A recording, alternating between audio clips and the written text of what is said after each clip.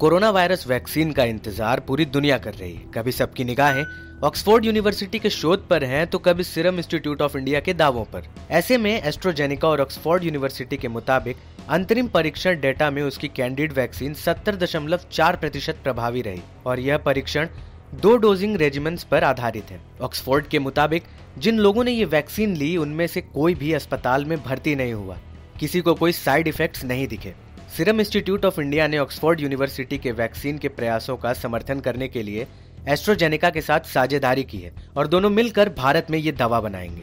Corona vaccine पर क्या है आपकी प्रतिक्रिया, हमें कमेंट सेक्शन में ज़रूर बताएँ। ये वीडियो आपको अच्छा लगा तो इसे लाइक करें, शेयर करें और देश दुनिया की हर बड़ी खबर के लिए सब्सक्राइब करें TV nine Bharatvarsh.